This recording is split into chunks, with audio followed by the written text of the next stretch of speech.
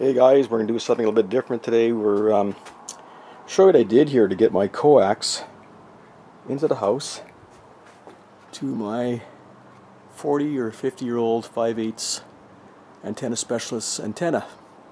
We brought it down, of course. We'll do a video of that later. So basically, what I did, uh, a lot of guys just run a hole through the house, or they put it through the windowsill, and the house is fairly new, so I didn't want to. I wanted to make something a little bit more. Uh, it looks a little bit better, more professional. That's just my opinion.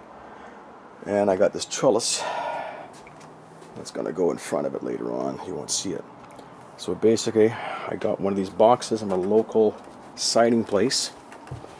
Um, they're basically the same boxes you would put on that lamp right over there. But put over here. So I put my two connectors inside there. So I got, if I want another antenna, this is basically a Tupperware container that comes off right there. And you hook up your wires, hook up your coax. Um, different. Then it's well insulated inside the house too. So it's uh, that's what I did here to make something a little bit more pleasant.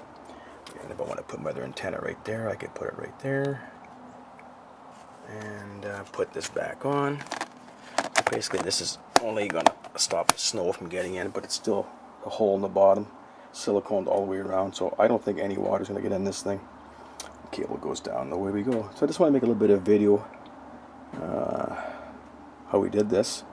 So basically just get this at any siding place they have these. So anyways, that's it. Um, yeah, something to think about when you put your, coax for what you want to do with your house.